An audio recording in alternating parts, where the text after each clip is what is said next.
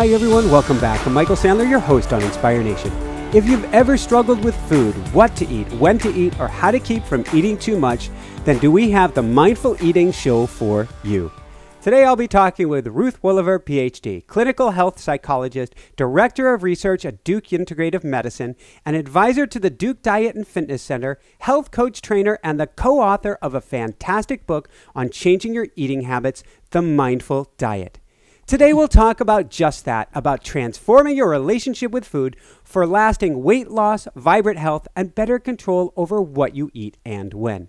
That plus we'll talk about stealth calories, calorie bombs, the Goldilocks principle, why you want to graze like a cow, why you don't want barbecue flavored cardboard, and what in the world is a whoopie pie moment. so, welcome to the show, Ruth. Are you ready to shine? Thank you so much, Michael. It's a pleasure to be here. Almighty. Woohoo! And Woohoo! Awesome. So great to have you on the show. So, before we dive right into things, have you always been interested in people's eating habits? I would not always, but I would say for at least 25 years. So, you know, not quite half my life. What got you interested in it? So, there's one thing that was interesting to me about myself, mm-hmm. but it's more like an interest in hindsight.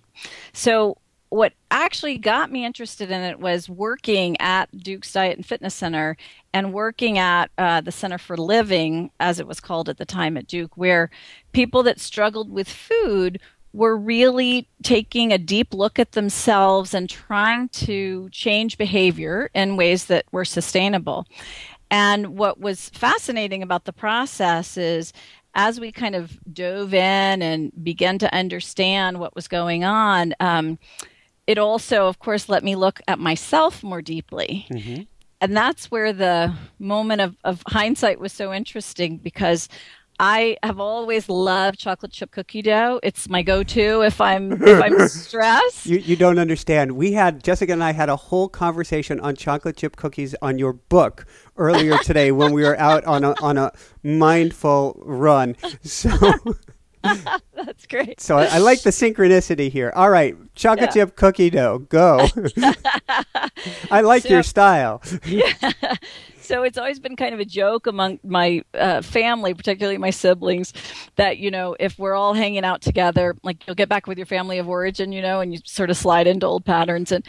I'll go for start making some chocolate chip cookie dough or even buy the, you know, quick kind now and and my husband will be like, "Uh-oh. this is bad. This is a bad sign." because over time I paired it, you know, I paired like like we do. That's how we learn. We pair some thing that we find comforting with a time when we need comfort. Mm-hmm. So it's just been a it's been fascinating to learn about myself in the process too. So this shortcuts the entire book, but I've got to go there. And and I've been part of it is coming from a professional sports background. I am on the high side of the motivation scale. I can say I'm going to do something and for better or worse, often for worse if it's not kind, gentle, easy, good, I'll just do it. I so I have a fairly healthy diet, you could say. And and I've I've tried different diets out, but I have a fairly healthy, we won't even call it a diet, lifestyle eating choices. But mm-hmm. darn it, after all these years, those quote unquote comfort foods still call. they do, of course they do. And interestingly, they're, you know, they're meant to. I mean, the food industry spends millions and millions of dollars on the science of how to actually override our innate satiety mechanisms. There was a, some study that we, we quote in the book that in this particular year, I want to say it was, you know, eight or nine years ago, but in this particular year, they looked at the budget for five big food companies mm-hmm. that, um, and specifically the line item that was around marketing for things that were highly processed, you know, a lot of sugar, salt, and so forth. And the the budget for it for these five food companies of marketing was about um, gosh, four or five times greater than the entire budget for the CDC, for the Center for Disease Control and Prevention. Mm-hmm. So, you know, we're we're comparing. I mean, really, just sort of apples and oranges. So there's a lot of push to um, have us, you know, uh, have our flavor, what what we can get from food quickly and immediately override what this body would sort of naturally respond to so I, creating in essence and creating you know more more desire for it and um, an almost insatiable uh, wish for for sweet. So and it's it's tough. So that kind of begets the question. I think we've kind of in a sense already gone there. What is mindless automatic eating? And maybe it's something that we're almost all doing on some level. Oh, yes. I mean, so it's a normal part of behavior. The problem is that we're doing it a lot, a lot of the time. So, like most kinds of behavior, you know, doing it in moderation sometimes is one thing, but when we're doing it all the time, that's when it becomes um, problematic. So, what it is. So, mindless um, eating is really a process of eating without paying attention. And we get into patterns and create habits um, you know, in lots of areas of our life. I'm speaking about eating now, but we could pick any area of life. It's really how our brains work. So we do particular behaviors in a sequence. There's often some kind of cue that starts it. There's a sequence of behaviors and some reward that sort of seals it or ends the sequence. And that process becomes so ingrained the more you do it that it actually gets stored in the brain in a way that you can uh, trigger it or set it off with the initial cue, and you don't have to pay attention at all. So it's it's great if you need your attention for other things, but what happens is where we actually do need to be attending, then we stop attending. So, for instance, if we are used to I don't know writing or sending email or something of the sort where we we snack a little bit. Uh, when we do that, we'll go and get that bag of chips, for instance, or or that diet coke or whatever, and be eating and drinking it while we're writing without even knowing that we did it. Exactly, and we may be, you know, we may even be aware that we we're getting it, but then we'll get so focused on what we're doing that we just eat and suddenly it's like, whoa, where'd that bag go? Or, whoa, you know, I think I had a whole thing of cookies when I started this. And it happens when driving a lot, right? Like that's one of the reasons that if you um, if you're working really hard on uh, making your health behavior, your eating behavior in particular, more healthy, it's really useful to not eat in the car to eat at your desk or places where you have a lot of distraction. You just triggered a thought. You, you triggered an amygdala response. if we're driving down the road, and also if we're working at some points, we may have that sympathetic nervous system going up, the fight or flight response going, which then I'm guessing is going to have a sugar craving to try to allow us to, to flee from danger well fueled. Yeah. So, you know, what it appears to be is that yes is the short answer, and it depends on how intense the response is, right? If the, if the, uh, response is so intense if, if the stress you know you're about to be shot or something the stress response would be so intense that you actually lose your appetite. Makes sense. You'll you'll beget the cookie to get the heck out of there. yeah, exactly. You can make a trade off, right? So so let's go to a fun study from there on something we might not beget, which is Cornell University and clear candy bowls. Because I want to talk about what we see is what we eat. Yes. It's so true. So, uh, yeah, what they did in their study was they compared what would happen if you had a bunch of candy in a bowl that was opaque, so you couldn't see through it, versus a bowl that was clear. And people ate, on average, took more from the clear candy bowl. It's what, what some people joke around about the seafood diet. I see food and I eat it.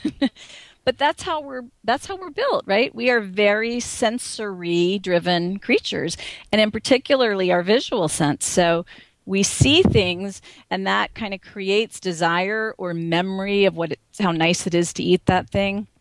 And if we're not really paying attention if we're just responding by habitual response then we're likely to to go forward and eat it. So we want to start getting opaque colored bowls, and, and it's something you talk about later. Um, you call it, I think it's portion bowls, and I think you get the smallest bowl that you can because what was that study? I'm, I'm going to completely misquote it here about the uh, the endless bowl of soup. Yes, exactly. Yeah. Yeah. What they did in that study was fascinating. They had a sort of funnel at the bottom or whatever, and they, they could push soup up into the bowl. So they had people eat and eat and eat until there were many different series in this experiment. Um, and basically, what they were trying to sort out is when do people attend to the time it's time to be done versus the you know the container is empty and that's why i'm done because the food is gone versus more of an internal cue. You know, my body's actually telling me I've had enough. And that last cue that my body's actually telling me this is a really quiet cue. it's a really quiet. So we've got to learn how to listen for it, particularly in the midst of our busy, busy lives. I think it was a, a, Deepak Chopra, Dr. Deepak Chopra book I read many years ago, where mm-hmm. he talked about don't get that, put that last portion on your plate, wait five minutes, and ask yourself, am I still hungry? Yes. What a great piece of wisdom. Very useful. And you know, Brian Wansink, who's done a lot of work on mindless eating, yes. um, I believe he found that people eat like 92% of what's on their plate independent of the plate size. And so that goes back to your point about, you know, have smaller, more appropriate plates or bowls or whatever you're serving yourself out of, because we are going to have a greater experience of uh, satiety and of having had enough if we see that we're cleaning out our, you know, whatever it is that we're serving ourselves in. So it's okay to still be a member of the Clean Plate Club if it's a small plate. exactly. It, it's actually a kind of a strategy to use. Yeah. I like it. So let's let's back up again for a minute. And we joked before the, the show that it's called the mindful diet, but it's really about a lot more than that. And in fact, I guess one could say that the diet or how we look is in a sense an expression of many different components. And maybe we can talk about that briefly. I love this, what you call the wheel of health. Mm-hmm. Yes, thank you.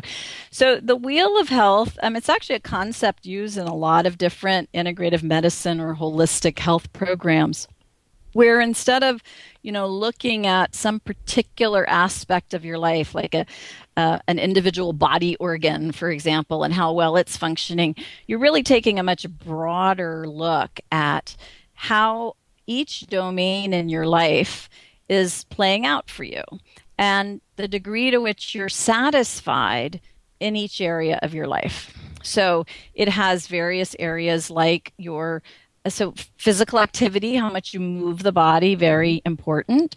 Um, nutrition very important. But also um, sleep very important. And rest um, not just when you're sleeping but you know adequate time for recuperation and play and personal development and growth and spirituality and communication and relationships, even the environments that we're in, both on a kind of meta level, but mm-hmm. also like the, the room that you hang out in or the office space you hang out in. And people have differing levels of um, desire to make those different areas or domains on the wheel of health. Um, a re, you know, a, say a 10 out of 10, meaning that they are very satisfied in that area. What we have people do is look at all these areas of, in their lives and then assess kind of how satisfied are they at where do they want to be and where are they now and what's interesting is that there's so many different drivers to why people eat when they don't actually need food. You know, we eat for a lot of different reasons. Sometimes it's because we actually need nutrition, but a lot of times it's not. And so, really, the whole exploration and using mindfulness as a way of doing some some self exploration um, just allows us to understand kind of the drivers that um, instill our behavior or kind of that make us uh, tick the way we tick. I like it, and I loved. I took I took that survey, and I I didn't check anything as a ten because I wanted to leave some room for growth in there. nice, so I, very nice. So whether you're mainly six to eights, I could point out a couple relationships and communication. The relationship mm-hmm. with my wife is great. I communicate great, but I want more uh. more connections with my friends. I think that could certainly help. And yeah. um, stress management, I do well, but I can certainly do better. That one I found fascinating because that actually tripwires another response. Because er- earlier on, when we were doing the show, and we're a daily show, I read a book a day, interview a person pretty much a day, and oh. having to learn how to manage that level of it's coming at you no matter what. And I started to put on belly fat, and, and I'm a fairly slim guy, and I'm watching uh-huh. this going, well, this is kind of interesting and that that was a response to stress not yes. the quantity of food but the body going we need to hunker down and store right now that's right. Yeah.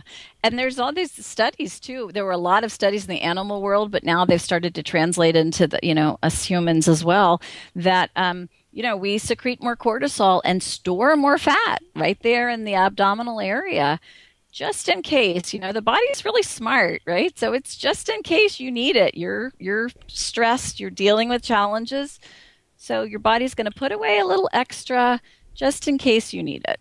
So, is there a particular, this is kind of a loaded question since it's a wheel of health, but is there an area to focus on that we may be uh, globally missing when it mm-hmm. comes to both our health and uh, diet or food? Yeah. Um, you know, my observation is that the nuances are quite different for different people. Mm-hmm. But if you put it all under the general umbrellas of stress and uh, relationships and connection, those are the places where we really have under focused. So people tend to go to food. Um, for sources of comfort. Mm-hmm. And that could be when we're lonely or feeling disconnected, um, whether it's, you know, to the people that we live around, or if I live by myself, you know, to my community at large, or even to something larger than ourselves. So the connection piece, I think, is really a, a big one. And then the other is is stress. So we are so uh, accustomed now to the amount of stimulation that comes in all the time, and our brains actually were not our just our brains, but our whole bodies were designed for a time that was a much slower pace. So we have negative uh, impacts on uh, living in these very very fast environments unless from a health perspective unless we're actually actively doing things to try to kind of compensate and allow the system to reset. So, what I have found is that people often um, get the most uh, bang, if you will, by first focusing on where in their world they can actually learn to manage stress better. And if they clear a little off their plate, then they surprise themselves with finding energy that they can put toward planning for healthier food or for exercise or more sleep or whatever it is they need. Um, but stress is usually, I think, one of the key missing pieces. And it, it sounds like uh, mindfulness and and all things that encompasses can help in many different levels when it comes to eating, when it comes to our diet, because we get the stress levels down, we become more present, we become more comfortable with our bodies. Maybe mm-hmm. you can introduce us to Mindfulness 101, particularly around this topic. Sure. Um, I think you've, you've said it really well, Michael. So, the you know, mindfulness is the practice of paying attention and doing it in a particular way with an attitude that's kind of a, a, detective attitude where you're curious and there's kindness and you're kind of holding and seeing what's what's here right now not trying to push it away or avoid it but just really trying to um, acknowledge and watch a little distance from a little distance what it is that's here right now. So it's a paying attention. Kabat-Zinn, John Kabat Zinn, um, this is his definition. I just think it's uh, such a nice one. It's paying attention in a particular way with this kindness and curiosity intentionally. So he describes mindfulness as the practice of paying attention um, on purpose, so intentionally, with a particular kind of attitude, which is one of kind of curiosity about what's here. And um, it's interesting when you start paying attention in this way, you observe so many things that we miss typically unless we're really present. So, you know, one of the ways our minds have been sort of trained as a function of our, our culture, I think, as much as anything, is to think ahead, ahead, ahead. We're, we're worried about what's ahead or we're planning for what's ahead. Or think about what's behind. Maybe we're regretful for something or missing something. And it's actually fairly rare that we're fully focused on being here, you know, right now you I, a lot of times people can relate to the idea of uh, you get in a car and you're driving and then at some point you know if you're on a road trip or something and it's monotonous at some point you sort of zone out and then you, you kind of come back present again and you're like whoa where did i go? I just have gone 80 miles. I don't even remember those possible turnoffs. Scary. So that process of you know our minds can go other places um, does not serve us well mm-hmm. when we're making decisions about uh, food and what to take into the body, and when we're making decisions about um, things that are going to have uh, impact later. So, so let's let's go from there then, and let's talk about well, maybe let's talk real briefly about the science and mindfulness, or mm. or even the science, mindfulness, and uh, eating. Sure. Well, so on the on the broader picture, so mindfulness has been sort of studied in academia for I don't know several dozen years. Kabat-Zinn's first program was like in 78 or 79, but it really was not moved kind of out of the quote unquote ivory towers until the last decade, last uh, 10 to 12 years. There's been this incredible upward trajectory of peer reviewed research where scientists are taking their findings um, of what was working sort of clinically or, or in clinics and checking them out on a larger scale. So we're now seeing mindfulness in schools and corporations and various programs. There's a I heard a really interesting presentation on a mindfulness training um, for police. I heard an interesting presentation on mindfulness training for executives. You know, so there's just the implications of how to actually uh, use mindfulness to shift the way you show up in the world um, are just are huge. So that work had been going on, and then um, about a decade ago, um, I connected with Jean Kristeller, mm-hmm. who is very interested in this work, and this has been one of her kind of life's passions. And um, Jean had had a graduate student who was interested in the work, and they had done a um, pilot study of women with um, a compulsive eating pattern and basically worked with mindfulness and, and applied it to um, various aspects around food. And Jean was interested in studying it more um, formally. Mm-hmm. And so um, she and I, the, just a short version of the story, is that uh, she and I um, applied for um, a grant, and, and we basically ended up with a, a series of grants where first we looked at if we applied mindfulness to the process of eating, specifically with people that had a, a binge eating disorder. So, an eating disorder where they felt out of control, mm-hmm. where they ate way beyond what was um, comfortable, and experienced a lot of distress about their eating patterns. And what we found in that, we found two main things. So, one is we found that compared to other kind of at the time state of the art um, approaches to deal with binge, binging or binge eating disorder, the mindfulness approach was equally solid in terms of uh, regulating the actual pattern of eating, so helping people get to a normal pattern of eating.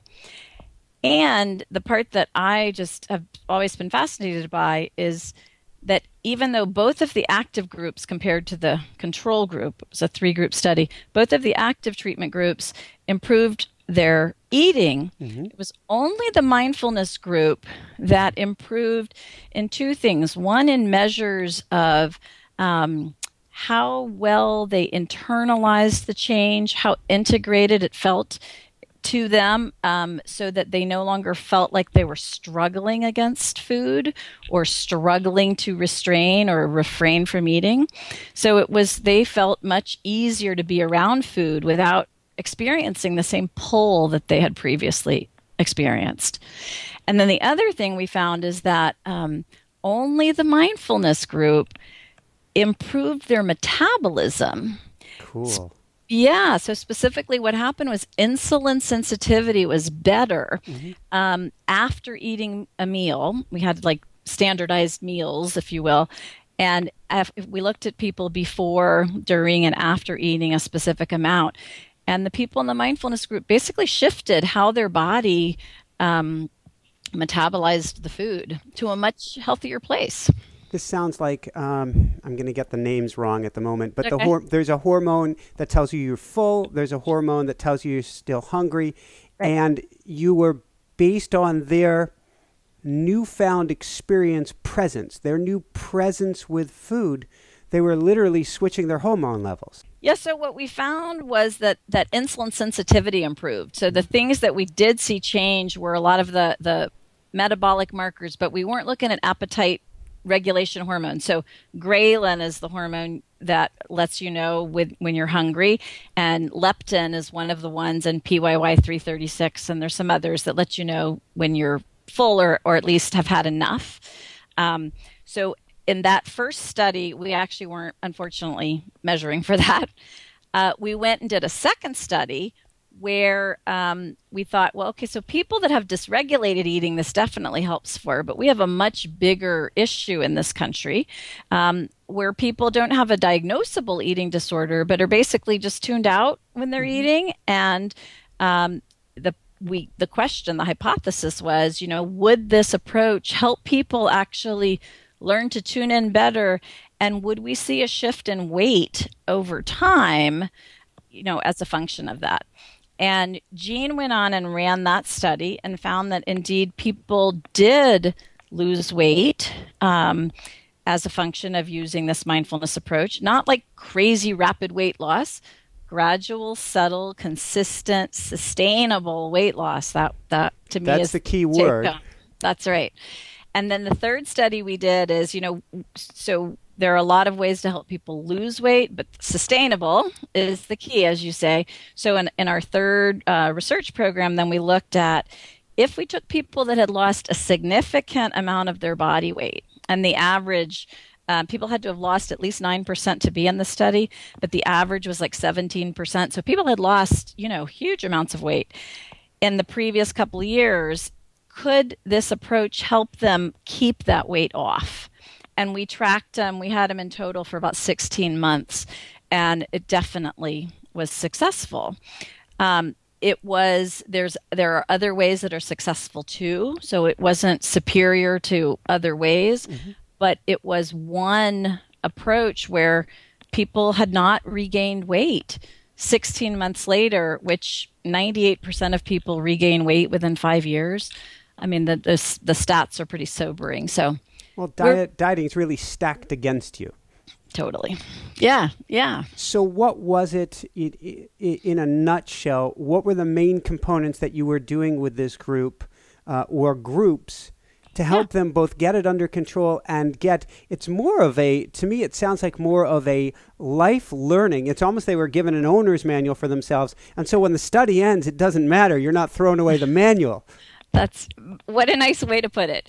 And actually, I think it was structuring a time where they kind of found their own owner's manual, right? Because what I find might make it really hard for me to resist the cookie dough might for you be nothing, right? So we're all going to, we all have our own idiosyncrasies. And so learning in essence how to, you know, settle your nervous system, how to check in and see what's going on, to recognize what emotion you have, if you have an emotion, and what it might be suggesting you need.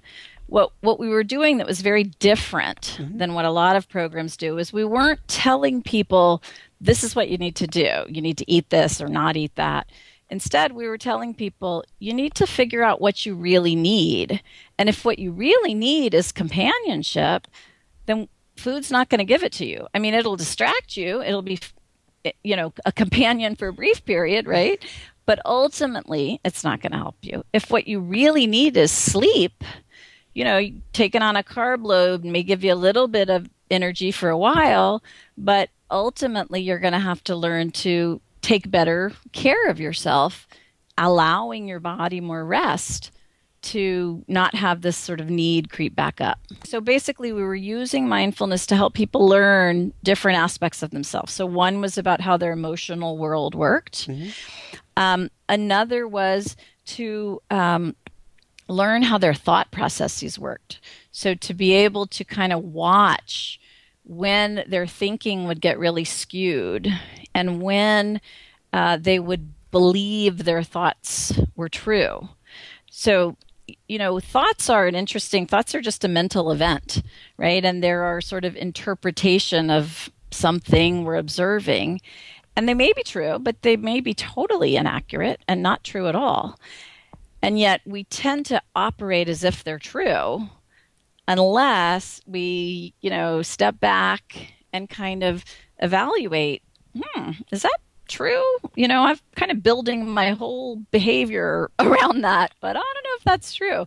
So, getting people used to um, taking a look at and putting some distance between their automatic thoughts and their kind of typical reactions to their thinking um, was another it was a second area that mindfulness really helped and then the third area was um, sensation so a lot of times we feel a sensation and react to it without um, either fully experiencing it or understanding what it means. Mm-hmm. So, for example, it's not uncommon that people feel anxious and they have a little kind of whir in the gut, in the, especially in the belly or even up into the chest, and they assume that it's hunger and go to food when really maybe what they need is to settle the nervous system or to take the edge off the anxiety and there may not be hunger there at all. So what's what is a good tool and, and there are many tools. In fact, you have a mindfulness toolkit. what is a good tool to say, hmm, what's really going on here? Yes. So we teach people um, different ways of applying mindfulness meditation, but the basic practice of the formal sitting practice of mindfulness meditation um, is the to me the most useful tool. Oh, I'm hearing like a truck in the background. Do you? You, you do, but I'm on. Oh. An, it, you're listening on a different mic. You actually hear me on something that's by my computer screen versus this here which actually records. This is a, an, an NFL uh, broadcasting mic. Oh, so if you're wow. in a giant stadium and you know there's 50,000 people and you don't hear the background noise, okay. you hear the announcer. So Got yeah, it. you heard okay. a truck gurgling on by. Okay, sorry. Thought, no, oh, no, no totally understandable. it means you are very present and aware and taking notice and going wouldn't and you're you've stepped back enough. You've done the practice enough um, that you are able. This this is my area too. We actually we made a program you'll find online, mindfulrunning.org. That's my wife and myself. Oh, cool! So we're down we're down this rabbit hole with you. You're stepping back several layers to not only say, "I'm speaking," and I hear this sound going on. I wonder if it's important for Michael to know that this sound is going on. So not only are you being the observer, you're being a compassionate observer. right. right. So thank you. thank you. What a great uh, way of taking that moment and turning it into a, a learning moment. So, so what I was saying was the basic practice of mindfulness. I just think has creates a learning opportunity for so many things, and um, that's to me the strongest tool um, that people can use to start to observe themselves and how they relate to their body, how they relate to their thoughts, how they relate to the world around them. Can we talk? Let's talk maybe about one or two more things in the toolkit. Then we'll jump into some sp- food specific items. Okay. Do you have one or two that you think also would be near the top of that list? Yeah, so I, you know, the the twenty breaths practice is a really short practice, mm-hmm. And um, people do it frequently, and it was one of the tools that people reported to us they used the most, mm-hmm. um, probably in part because it was so short. Um, so the 20 breaths practice is a practice I was introduced to by Michael Baime at Penn. It's basically 20 really short meditations all in a row where you're gathering up all of your attention on this particular in breath and out breath. And then you count them as you go. Everybody has their own pace, but you count from one up to 10 mm-hmm. and then back from 10 to 1 excuse me so you um, are counting just to kind of keep your your place but you're uh, amplifying your focus on the experience of that breath just for that, you know, few seconds of that breath. And I think you would add to it an important caveat non judgment when your mind goes astray. Totally. So, that, you know, that to me is the real key in being able to use mindfulness um, as a learning paradigm particularly around food. Um, we are so mean to ourselves. I mean, we're really, really harsh judges of others and of ourselves. And when we're being really harsh and critical, then we also get tricky about uh, kind of what we're going to allow ourselves to see. You know, if I have to go and um, uh, report to a very harsh judge all the things I've done wrong, I'm going to be a lot more careful than if I'm going to go report to a loving, kind, um, accepting um, being. So, for me, the non judgment piece and recognizing how quick we are to judge mm-hmm. is a really useful part in creating an attitude of um, acceptance and friendliness in which I can then learn more about myself. Sounds like a great, healthy coaching relationship. And in this t- case, you're coaching yourself. Yes, that's exactly right. That's exactly right. Let's go from there. In fact, let's talk about what you call it's actually uh, in your book as mindfulness number three flexing your kindness muscle. Ah, yes, yes. So it really has to do with um, the use of non judgment. Mm-hmm. And simultaneously with cultivating um, uh, with cultivating kindness, with with um, allowing yourself to be human, giving yourself um, space to be who you are, recognizing that we all, you know, have thoughts we don't want to have, and we're not in control of them. Where we are in control more is on what we do to react or what we do to um, from a behavior perspective. Same thing with emotion. We have a lot of emotions. It's part of being human. So being um, allowing of the full range of, of human emotion really important and then recognizing that a lot of things can t- contribute to behavior and so even though we like to sometimes believe that we're in control of everything it's pretty complicated and we ain't right so um, giving ourselves you know permission to try things and make mistakes and learn by trial and error. You know, that's so interestingly, that's how you learn behaviorally. you learn by trial and error. Error has to be part of it. Which is fascinating because since we were young, we were taught if you get something wrong, you screwed up. Which means, how do we learn by trial and error when we're taught error is so bad? Exactly, exactly. So, you know, I, I think part of being able to uh, apply the mindset well is creating experiments that you're it framing it as an experiment. Mm-hmm. So you're going to go try something and see what happens. Not you're going to do this and you're going to, you know, never eat an unhealthy thing again or you know make up some kind of rule that which is a setup which is a total setup absolutely I like what you're saying so much because it takes us out of the really it takes us out of the parental role where you're going to report back to a taskmaster you have to say how it got how it went and if it didn't go well if it didn't go even perfect you completely give up and frustration it becomes this black or white I've got to never have sugar again or I'm headed to Krispy Kreme Exactly.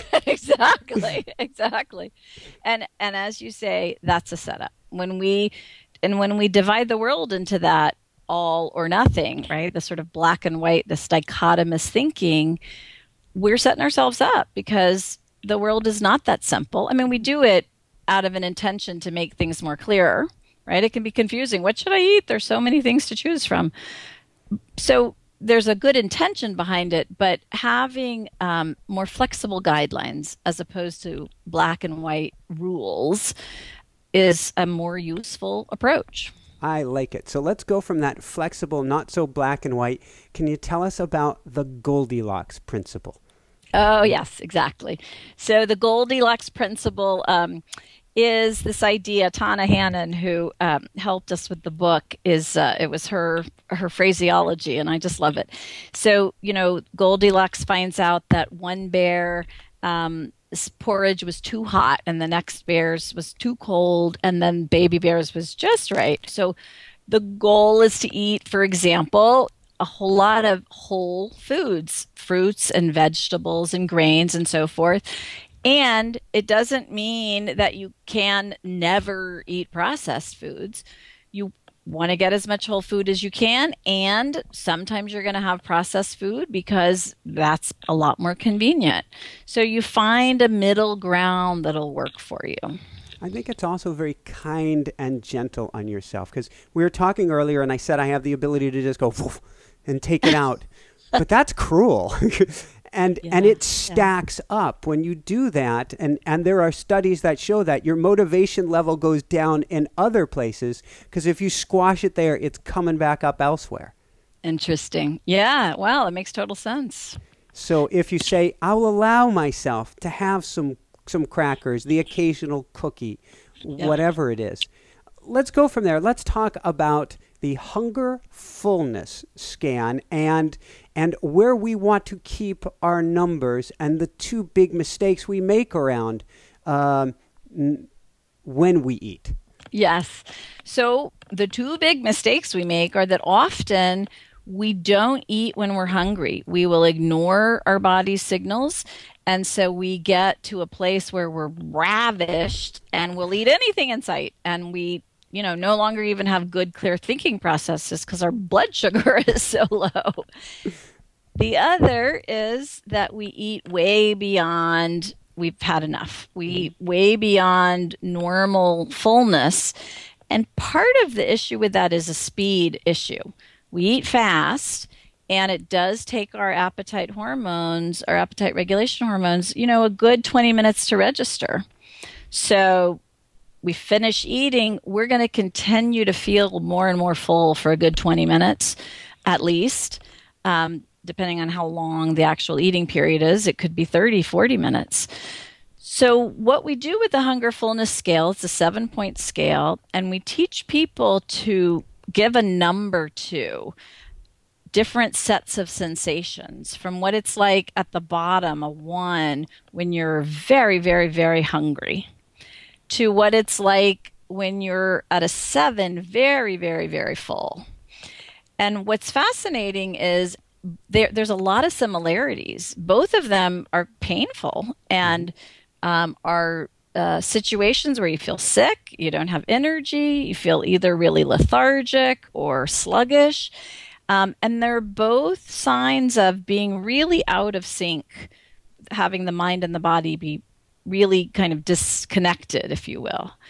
So, what we're going for is eating when we're a little bit hungry, not tiny, but moderately hungry, and then stopping when we're we've had just enough, when we're a little full, but not when we start to think, "Oh, I can't fit another bite in." At that point, we've way past the uh, fullness mark. So here is a crazy question, and, and, and I'm thinking I, I did a uh, foreign exchange program. I was racing bicycles in Europe a long, long time ago, and I stayed with this family that ate food very, very slowly. How do we eat? How should we? Not that there's should, woulda, coulda, but what's yeah. a good way to eat? Right. Well, in terms of maximizing the body's ability to digest and our ability to fully recognize the signals that our body is trying to communicate to us, we do need to eat more slowly mm-hmm. and with greater attention to the whole process so that we fully experience the food that we're eating. So the body can digest well and we can fully register what we've taken in. There's also some wonderful research about how just the speed itself dictates um, some of the appetite regulation hormones. So we see changes even eating the same amount at different speeds. Mm-hmm. When we eat slower, we have a sense of being more full sooner, which, if we then attend to that, we don't need as much food.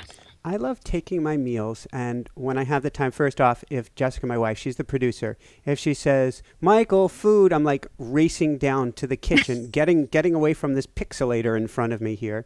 and if not, if I have the time, I'll go and sit outside with with my plate and try to enjoy it, even put my feet on the ground mm. and connect. Are there studies that show, or is it just something intuitive at this point, that being in front of what I'm calling the pixelator here uh-huh. warps how much we're going to eat. Interesting. Well, there are studies that show that when we're distracted, we eat more. Mm-hmm. And I think it would fall into that. Um, but the other thing you're pointing to is when you are fully, um, you're supporting full presence by attending to your senses. You know, you go outside, maybe you feel the sun or the wind. You are able to be more in the body and when you're more um, sort of physically present, you actually, I mean, you're better, you're better able to digest, but you also process information differently. Um, and as that compared to like in the pixelator and you've got your cognitive brain thinking thinking thinking and you know what do i do about this email and that and the yeah. right right so, um, and and I'd say I'd say the food even tastes better, which is strange, but getting away, it it has a different taste to it. It does. It totally does. I have uh, this is one of my favorite stories. This totally delightful woman who was in actually one of our earliest um, groups. She she it was she was so much fun to watch her learn mm-hmm. basically because she would come in and she'd share her enthusiasm about stuff and so she was talking about how the paying attention, the process of paying attention changed flavors and also brought her insight through that. So she said she sat down for her meal and she did a, a mindful um, a practice, a brief mindful practice to then rate her hunger so she knew where she was starting.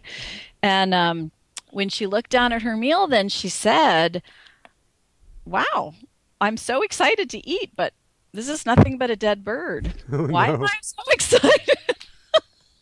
Gratitude, but exactly. On the other side, you know, we we find sometimes that we actually like things we didn't think we liked, mm-hmm. and we find that we don't like foods we thought we really liked the process of paying attention changes the the whole flavor experience. That makes perfect sense. So let's dive. We've just got a, a little bit left before we jump into a, a brief meditation. Maybe okay. we could talk about the four pillars of healthy eating, and and start with pillar number one: eating to manage inflammation. And this is one I do a lot, and I think of all foods that way. Um, so I'm excited to hear about this one. Eating to manage inflammation. In inflammation. Oh, I thought you said information. I was thinking, I don't remember that. Part. Now that would be in, eating to manage information. That's like eating your computer screen or your smartphone. right, right, right, right, right. Uh, so there are so many processed foods and so many um, high uh, sugar foods that um, that contribute to a state of, of inflammatory to, to, a state of inflammation, pro inflammatory cytokines in the body. And those have been shown to be related to lots of different chronic diseases. So, um, eating to manage inflammation, you're trying to get good, healthy fats mm-hmm. and um, not have as much um, saturated fats and some of the um, other kinds of fats that are less healthy. You're really trying to maximize um, healthy fat and a, a complex carbohydrate um, together. Uh, this actually helps manage hunger um, as well. But in essence, um, you know, my, my co author, Beth Reardon, is a nutritionist, and um, she talks about how you every bite we take in we're taking it into this biochemical environment you know and and it's bathed in chemicals and we are creating those as well based on what we're taking in. So the process of thinking you know oh this little bit doesn't matter actually isn't accurate because chemically you're changing your internal environment based on every single thing that you swallow Makes sense. I'm always looking at what has the highest antioxidant value. Can I can I sneak some more wild blueberries in here? Steal some curcumin or turmeric in here? Yes, yes. Well, I am sure Beth would be delighted to come talk to you. She's the one with the deep knowledge about those things. Fantastic. So yeah. let, let's jump from there. That's pillar number one eat to manage inflammation. Can you tell us real briefly eat for blood sugar balance? Yes. So, eat for blood sugar balance um, is related to the fact that as our sugar spikes in the blood and then crashes, we have all sorts of um, intense energy responses, right? We get more energy and then we're, ugh. And so, to eat for balance, um, basically you want to eat high fiber mm-hmm. and you want to combine it with a healthy fat. So, you have, you know, um, celery with a natural, you know, nut butter on the top. You have um, some kind of high wheat cracker or high grain cracker with um, a kind of a skim cheese, so that you basically are putting things together that slow down absorption. The fiber helps to slow down the absorption so that you don't have a fast uh, rush, a blood sugar rush.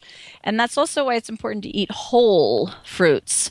Um, so you know if you t- if you drink a glass of orange juice versus eating the whole orange, the blood sugar response is going to be totally different. You get a lot more fiber with the orange, and the body can absorb more slowly the sugars. A, a, quick story on that. When I was oh mm-hmm. many years ago, probably two decades ago, and I had blood sugar sensitivities until I figured it out with my diet in the last uh, three or four years, and this has been I'm now uh, almost a year coming up on close of being able to eat fruits again and things that aren't super low on the glycemic index, and I'm fine. Uh. It's like eating fruits is the sweetness of life. So I'm yeah. So happy about that. But 20 years ago, I went out to, I think I was going to drive like up north to meet my mom with her car or something. I'd graduated college and I drank a, a cup or half glass of orange juice, got in the car, drove off, passed out, hit a guardrail, totaled the car from oh my, my orange juice. Wow. It's it was pure sugar because it took out all the fiber from it. Right, right. Wow. Well, that's, you know, most people know that if somebody's going into like a diabetic crisis, you get them orange juice because it's the quickest way to get them, you know, pure sugar. So, uh, yeah. So, okay, pillar number four eat a plant based diet. What does that mean? Yeah, so it means get most of your uh, proteins from plants. Um, from soy, from legumes.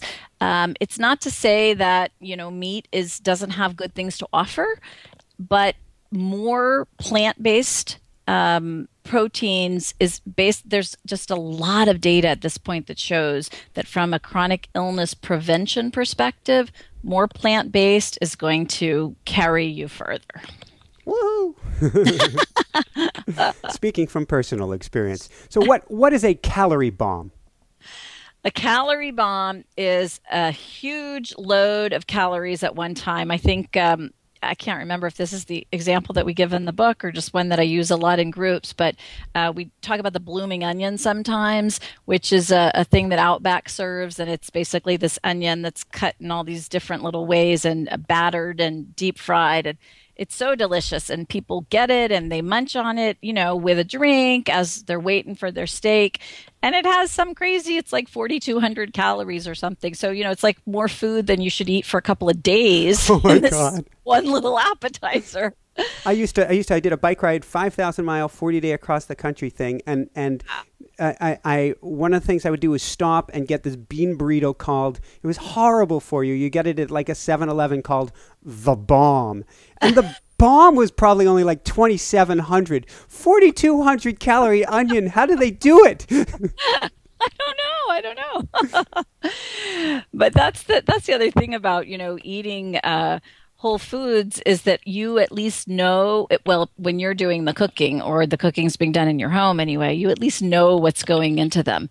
And it's much more difficult when you're when you're buying prepared foods. And the, with the prepared foods, they've got just like we bringing it full circle, they've got the chemicals in there, so it short circuits anything, and you don't even realize you're completely full, your stomach's distended, and you're going, "Wow, that feels better than the first bite. I need some more of that."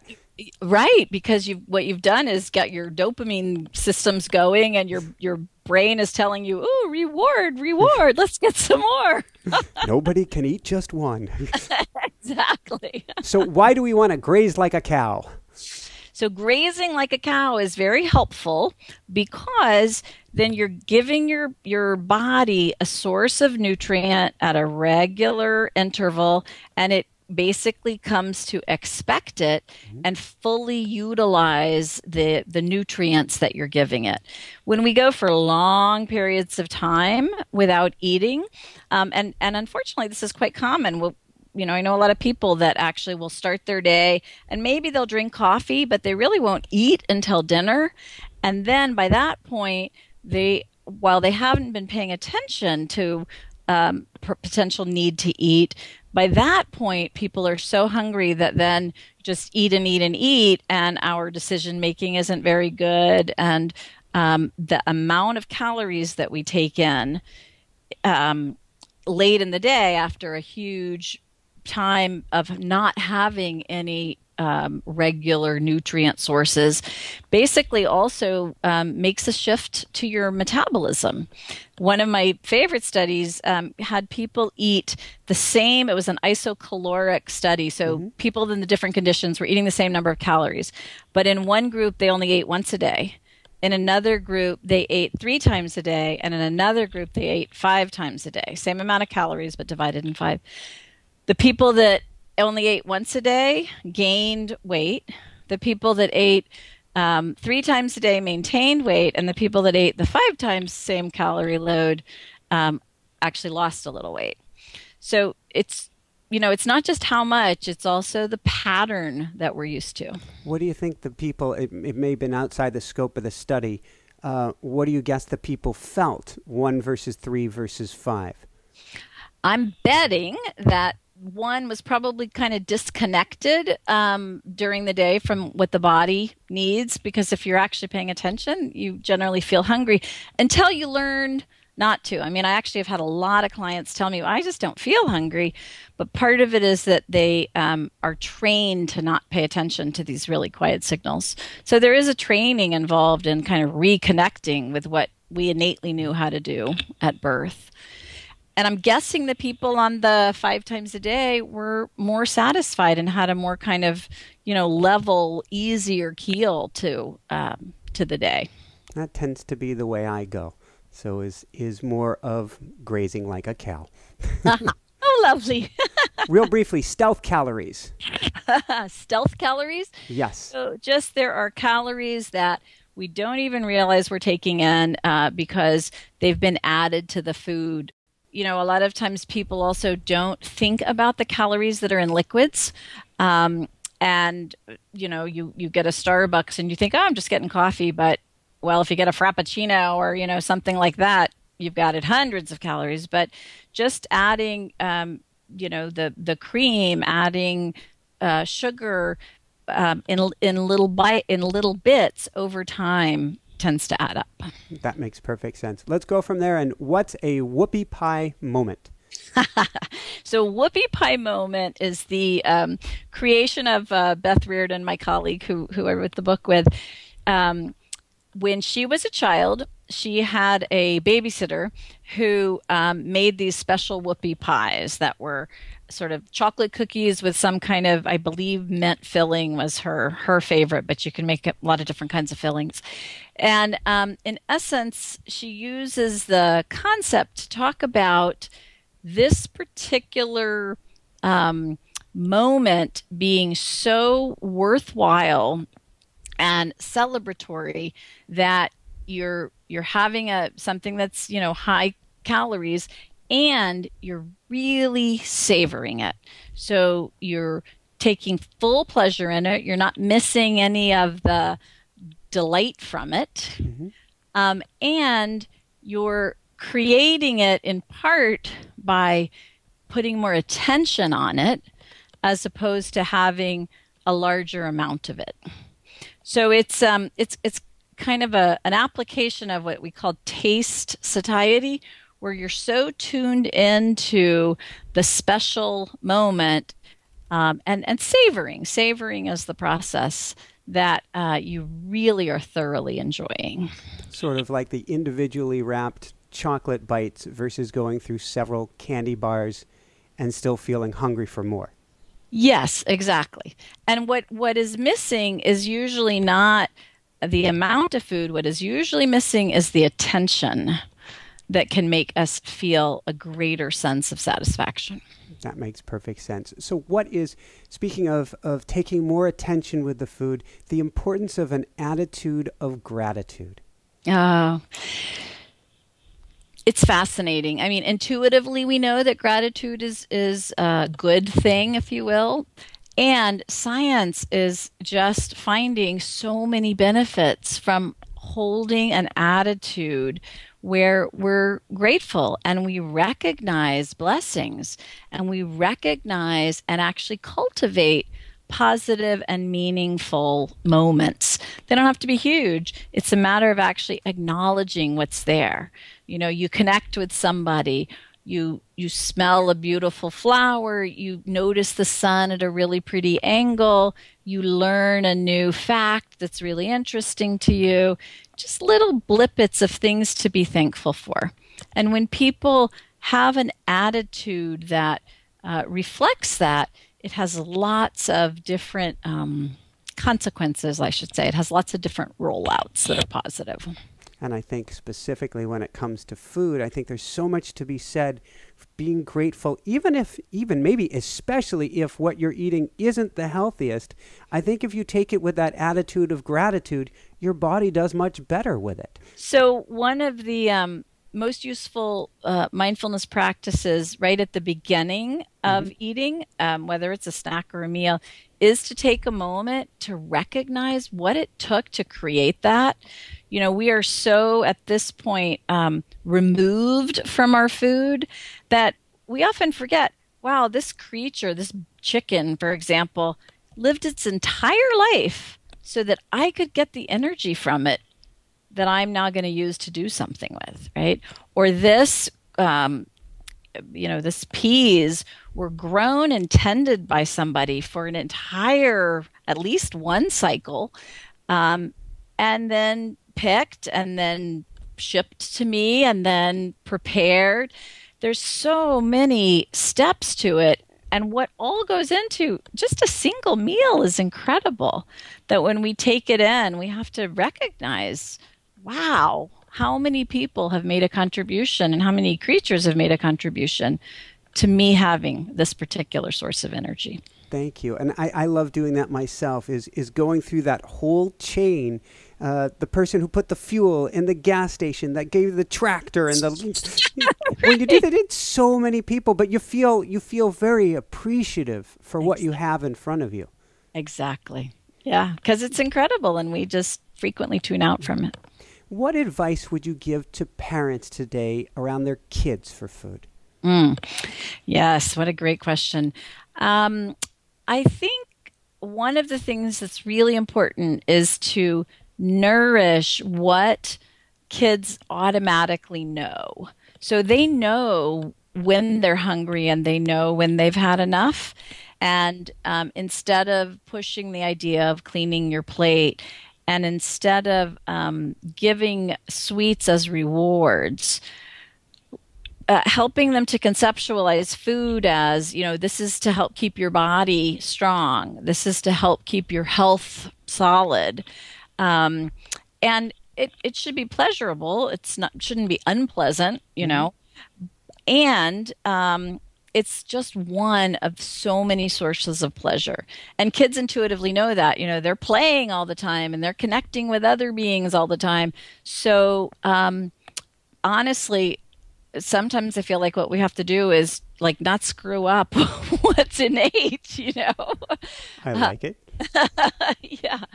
Um, and I think the other thing is recognizing that just because a child wants something doesn't mean that they have to have it. I mean, there's some basic parenting that I think um, is really helpful for people to have that uh, plays out with with food as well as with other things, you know. So the child says, I want a cookie, I want another ice cream, I want a this, and I don't want that. Um, again, helping people, kids, adults too, but helping us to learn our limits is is just a really important part of of growing up. It's okay to want that, and you can't have it. You it know, almost it almost sounds like when you do that. I never thought about it to this moment. You're helping them understand how to cool the jets for that next cookie or that uh, next ice cream, which trains them to be self regulating more later on. That is 100% correct. That's exactly right. You are teaching self regulation. yeah. And it's such an important skill that actually um, some work is showing that we, we have become. Uh, less we've paid less and less attention to it and we're creating you know more and more impulsive i want it now fix it now kind of culture um, where knowing how to manage those impulses is really important. Couldn't agree more. From there, just a few quick wrap up questions, then we'll jump into a meditation. First okay. one, a really fun one. What personally brings you the greatest happiness, or what I call the woohoo factor? The woohoo! Uh, so I have a really special, special child. Um, her name is Emma, mm-hmm. and she has something called Rett syndrome. So it's a neurodevelopmental um, condition, if you will. So she's she needs twenty four seven care, um, and she's unable to speak or purposefully use her body.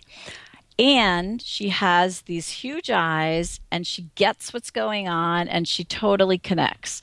And so my favorite um, moment is, and, and we do this every morning, six times a week probably.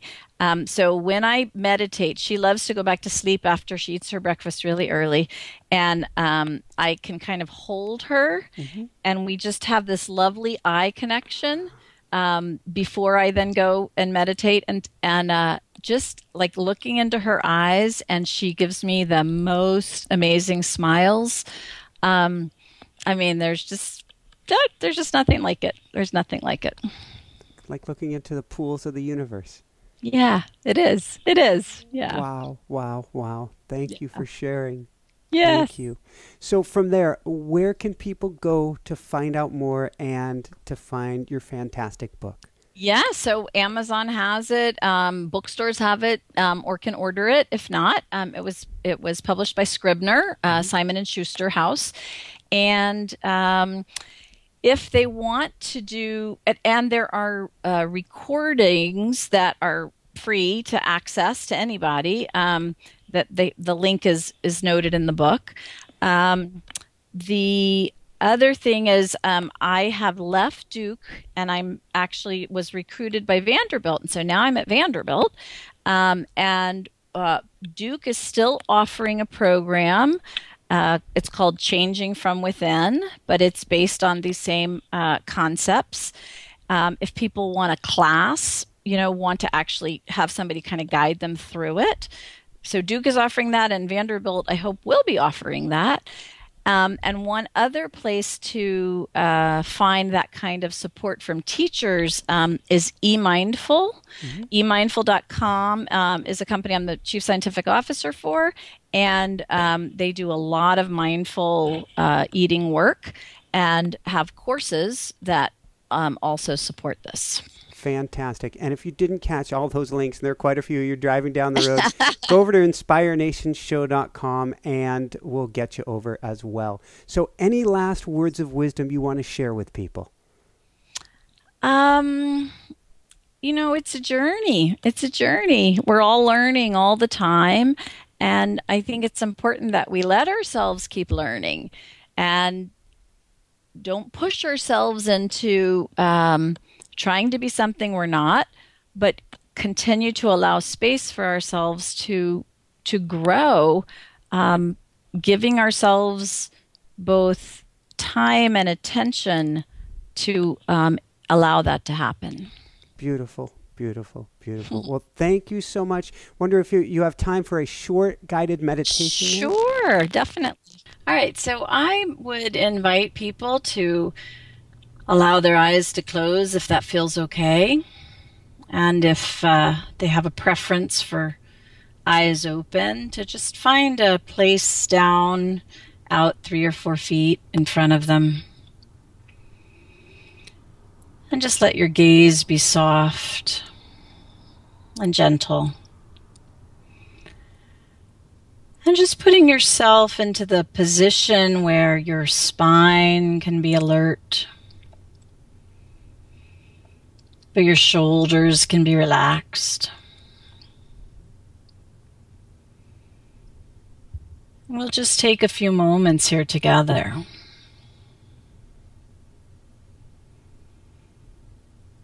First, just observing what is.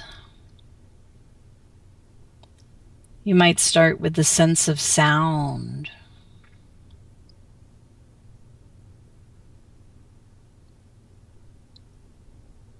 And just notice any sounds that come and go.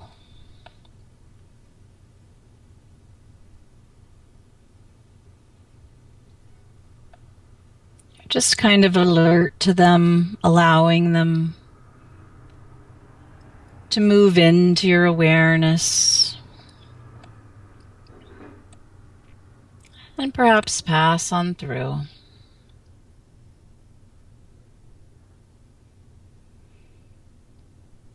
And just as you can attend to sound, you can also move some awareness down into your feet.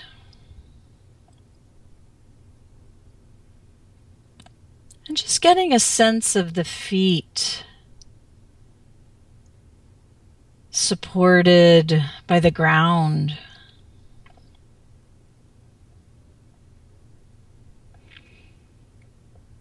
You might notice where you feel pressure.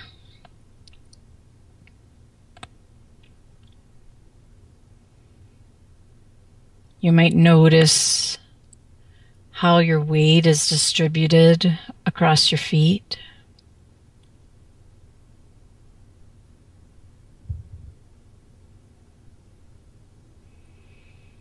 You might notice the texture if you have on socks or shoes, or feel a carpet or a floor.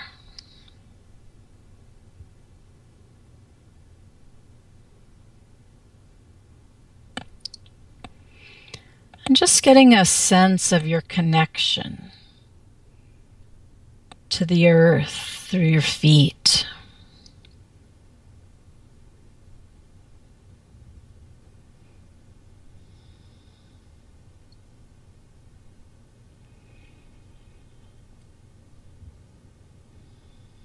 And you might also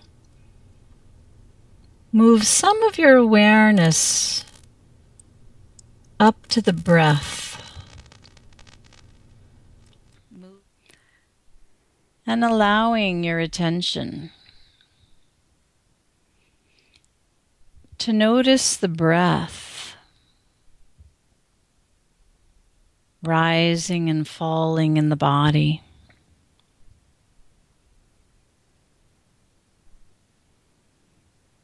Or expanding and releasing.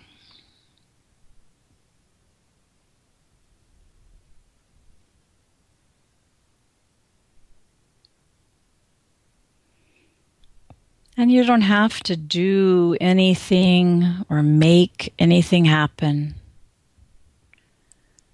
You're just observing the wisdom of the body, how it knows to breathe.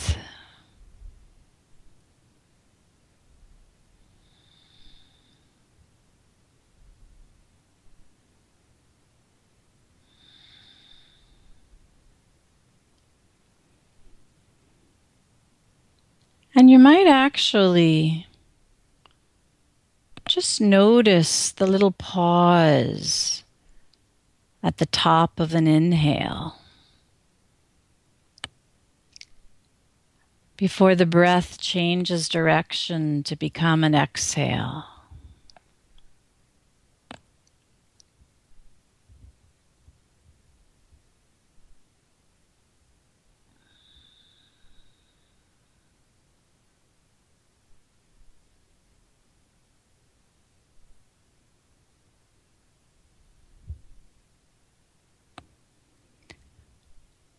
Or you might notice the little pause at the bottom of the breath. As an exhale pauses and the breath shifts direction to become an inhale.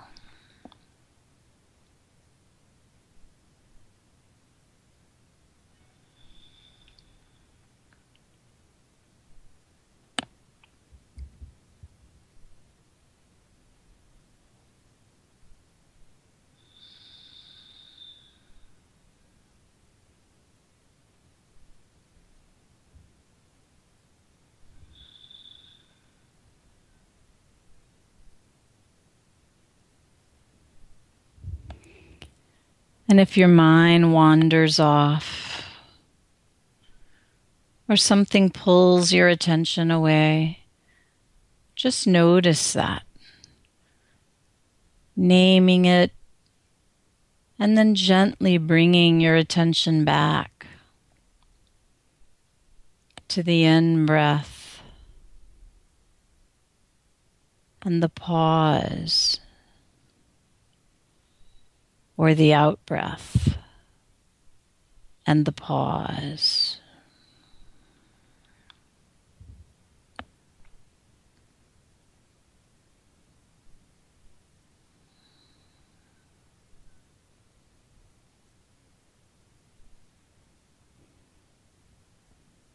And then giving yourself the gift now of three full, comfortable breaths.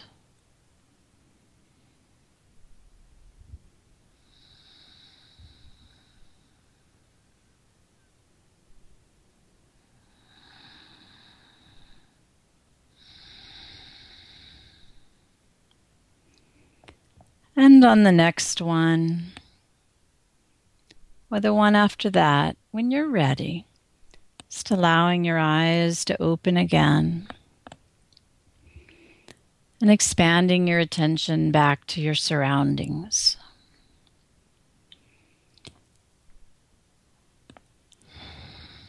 And if your body is asking for any particular stretch, feel free to give that to yourself as well.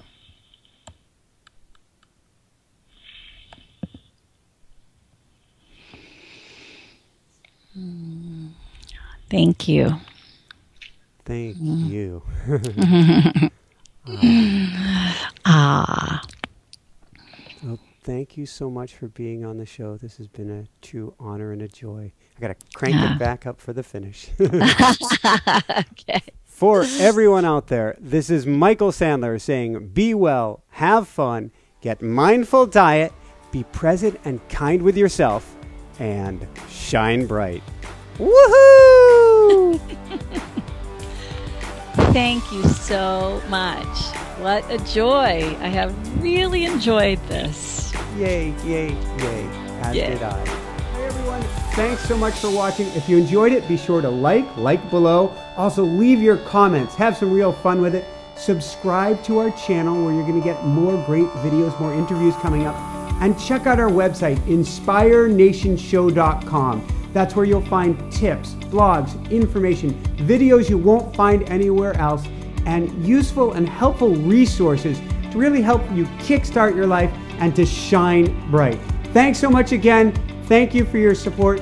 Like, like, like, comment, subscribe. See the website. Thanks so much and have fun. Of course, shine bright.